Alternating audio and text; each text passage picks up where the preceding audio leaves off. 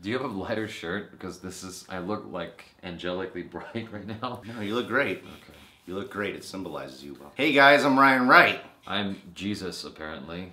Jesus is my brother and my Lord and Savior. I'm Anthony Alba. Today, my brother and I, we're gonna watch the trailer, the new Comic-Con trailer that released, the, whatever, I'm saying this all wrong, the third trailer for Interstellar. Yeah, um, you haven't seen any of the trailers yet? I saw the trail, the first teaser trailer where that country dude talking a lot in the trailer. Matt Matthew McConaughey. Yeah, yeah, I like the second trailer too. I still don't know what this movie's about. I think it's about going into space. Yeah, that's about it. That's all you know. Yeah. Well, I, I think it's about entering a black hole. I'm sorry, I'm spacing. It's a, I think they're entering a black hole because it's like this spherical, weird-looking thing, and the spaceship's crossing the threshold. Can we just time travel to a part where I could have had a really good joke? Um, you said you're spacing. I'm spacing out. Yes, I'm spacing out. No pun intended. Ha ha. Yes. Ha ha. It's gonna garner a few laughs. Good old daddy taught us jokes like that. All right. Uh, You just had it open. I know. All right, here we go. You have weird habits. I do. Why would you close it? It mainly consists of a lot of different drugs. Drugs, hookers. Really. The Wolf of Wall Street probably defines my life the most. Really? Yeah, we gotta wait for this ad. This is how raw it is. We don't download trailers. We watch it straight from the internet. Unfortunately, we can't skip the ad. It's a good ad. There's black people in it. Really showing diversity in our country right now. Frozen defines my life. Yeah, I would say Wolf of Wall Street and um, The Passion of the Christ. That's two very contrasting movies.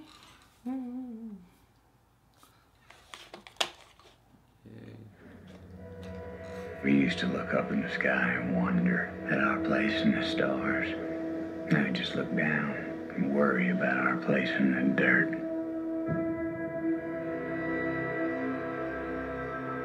Go for main engine start.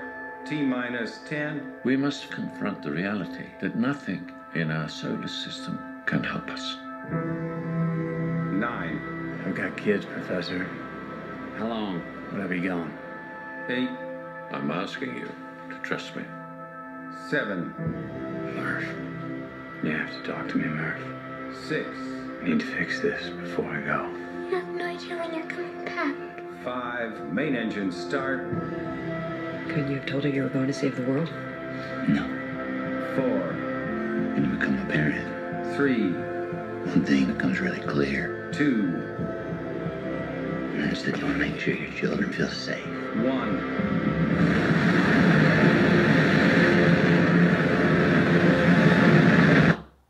I'm coming back.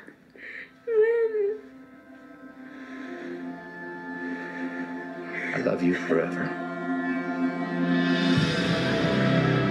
Potentially habitable worlds right within our reach. Could save us from extinction. Here we go. You can't just think about your family now. You have to think bigger than that. I am thinking about my family and millions of other families. Maybe we've spent too long trying to figure all this out with theory. Love is the one thing that transcends time and space.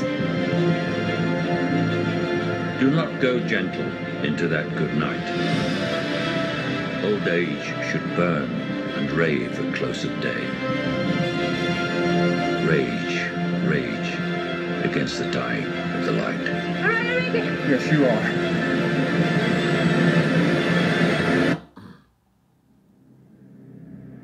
We'll find a way.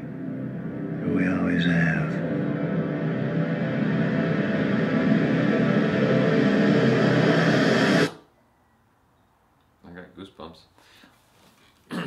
A new style for trailers. Have the main character cry through a good third of the trailer. No, I mean the audio just cutting out like that. I, I haven't seen that before. Like Michael Bay started the whole thing with um, Texas Chainsaw Massacre with the blinking black screen, and then that became what you saw in every single trailer. I'm sure we're gonna see a lot of that. Do you know how much research he did for that movie? I don't know anything about Nolan? You know, I already did a ton of research. I can't give you an exact estimate, but I know for space travel. Yeah, Because I'm, I'm trying, I was looking, looking at it, I was trying to figure out what kind of space travel he was doing. Because there's different kinds if you're to be realistic about it. Are you interested in this stuff?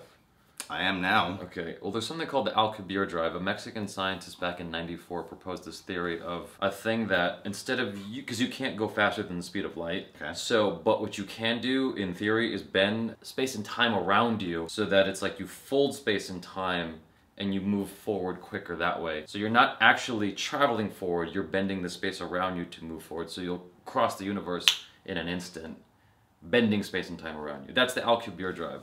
The other one is using um, wormholes. That's probably what that is, is wormholes. Is if you can stabilize a wormhole, you could jump to other parts of the universe. But in science, we haven't figured out a way how we would get back or where we would end up if there would be ways to sustain life on the other side of that wormhole. And the other way is to uh, just that. Well, those are the two ways that I can think of. The other ways would you would be you would actually need to repopulate within the spaceship as if you're got a little mini Earth traveling through space. It that's that's not what that movie's doing. This family knows a lot about that stuff. Like him and I just really study space. It looks pretty. Yeah, no, it does look pretty. What I like about the trailer is that it seems like there's this really grand scope of a bunch of crap happening, but they have they're mainly putting a lot of focus on Matthew McConaughey as just a character, and I don't really see that with a lot of Nolan films. Really? No, I mean like the character. Like I remember Inception, like Yeah. they didn't. about to say. No, the, the the movie has good character, but the trailer doesn't really show you much of that. This one's really showing you like, no, you're gonna go on this journey with Matthew McConaughey, and he cries a lot. He's a big crier. Yeah. He cried for like the beginning. It looked like Act One, Two, and Three. He's gonna cry. I'm not his biggest fan. It's good timing though because he just did Mud and he did um that movie where he had AIDS. Texas Sold Party, No, what Dallas Buyers Dallas Club. Buyers- yeah, that one. I tried being funny. It didn't work. Oh, okay, I missed it. Sorry. Yeah, but having that back to back and then this is a good follow up. But in general, I'm, he's not my favorite actor. We did Magic Mike, which was good too. I didn't see Magic. Mike. You and I can relate to that. That's what we had to do right when we turned 18. It was tough. Tough life. You grew up on the streets. You become a male stripper. No, this movie does look like a good time, I get. I mean, they're not really showing you the adventure so much. I don't know if there's going to be a big adventure. It looks like well, there my will be. my impression from the first trailer was that most of the movie was just all the drama leading up to it. so this is going to be like a build-up movie? Yeah, I was told that a lot of it is spent in space. Okay. So I can't say by who, but I was told. If you wake up dead the next day, you're gonna wish you had told everyone who. All right, guys. Well, thanks for recommending that trailer, which was a total bitch to find, by the way. I don't know why it was so difficult. They took it off of YouTube. Yeah, what the hell? If you're new to the channel, you can subscribe right here. And Anthony has his own channel too, where they do reviews and their short films. He's a badass fighter. You can subscribe right here. I just remembered uh, one other form of space travel. Good. Let's hear it. Okay. So there's these things called tachyons. It's a theoretical thing. They're theoretical particles. No one's proven if they exist or not. Okay. The idea behind them is they cannot move slower than the speed of light. They have a range of speed, but they cannot move slower than the speed of light. And if you were able to harness that and surround your ship in it, you could move faster than the speed of light, in theory, using tachyons. So you're saying you could like. I'm gonna laugh at my own joke. Boldly go where no one else has gone yes, before. basically. But it's just a theory, and I think a lot of scientists don't think they're real. But there are people looking for them. They might find them. The cool thing about them is that, like, light speed can only move at one speed, the speed of light. There's no way to slow it down. It just goes at the speed that it goes. Whereas tachyons have a dynamic range that they can play with if they were real. Anyway. I don't think they're using tachyons. I don't think they're using the Alcubierre drive. I think they're using a warp, a wormhole. That's most likely what it is. That's, that is probably what I, that's what I was thinking. Yeah. Most likely that. Yeah, that's the closest thing we're we've we're. That's the closest thing we are to cracking, moving faster than the speed of light. I think. Yeah, if there's one thing we're close to figuring out, it's that thing right there. Let's do some shout outs here. Me, me Lord Ackland, do a shout out for me because it's almost my birthday and I'm black. Oh. oh, got another black friend and I'm counting. I got three. Three black friends. I'm working on it. You only have three. I'm trying to get more. Oh. Oh no, I just made a fourth one.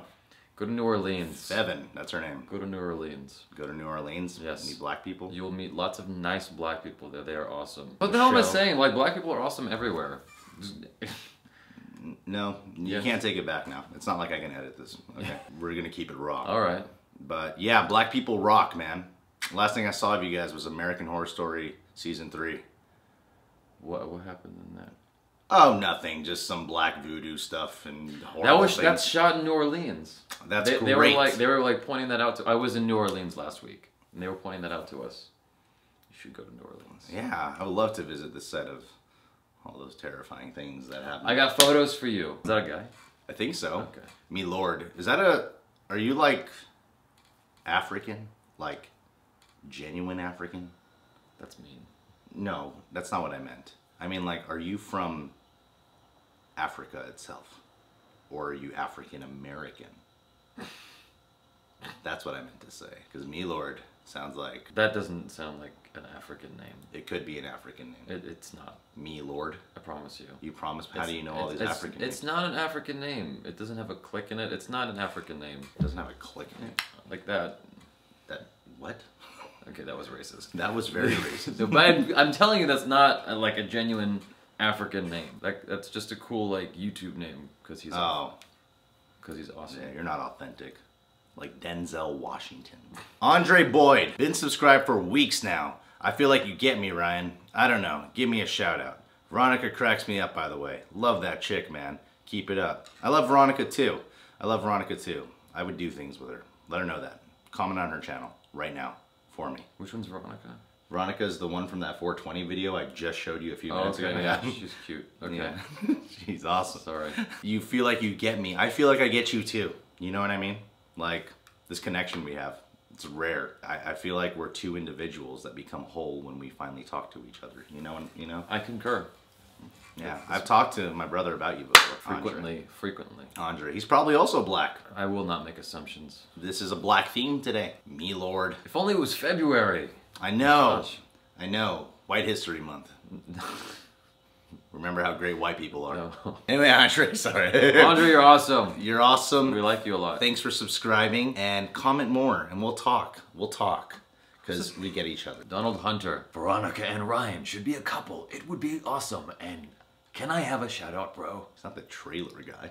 I'm the trailer guy. We gotta go a little bit more manly. Okay. No, it's gonna become Batman. Veronica and Ryan. Oh, should right. be Okay, a okay, okay, okay, okay, okay, okay, okay. I'm all nervous now. Okay, hold on. Veronica and Ryan should be a couple. It would be awesome. And can I have a shout out, bro? That's good, good, but a little bit too Keanu Reeves. Well, people say I look like him sometimes. That's what I like to tell people. No, that seriously, like trailer voice? like no, because because I tell people I don't like to have a tan. I like to have the pale Keanu Reeves look. All right, that's not relevant. Donald, you are you have a nice name. It reminds me of a, a, a character I loved growing up. Mickey Mouse. See what I did there? I threw you off. No, I agree. Oh. Well, that makes sense. I mean, you could hear Donald, Donald Duck. Oh, Mickey Mouse, same club. Yeah. Yes. Yeah. It's all relative. I know it's, it's awesome that you get a shout out, Hunter. Are, are you a real hunter? Do you hunt? It's kind of funny that his name's Donald Hunter, like a duck hunter. Interesting. Like the video game. Exactly. Maybe you're the inventor of the video game. God, that you must watch like, our that must have been frustrating growing up being like called Donald. That would have been really frustrating, especially if you were like a nerd. Like if your name's Jasmine and Aladdin just came out and everyone's making fun of you. I can't imagine the amount of people that called Donald, "Hey, Sutherland, get over here." Right? Right. Right? Mm-hmm. Well, Donald Hunter Sutherland, shout out to you. You stay classy, San Diego. You better watch Mockingjay because you're in it. Um, you brought it back. It's called a it callback. back, yes. It's called a callback. Comedy lesson number 14.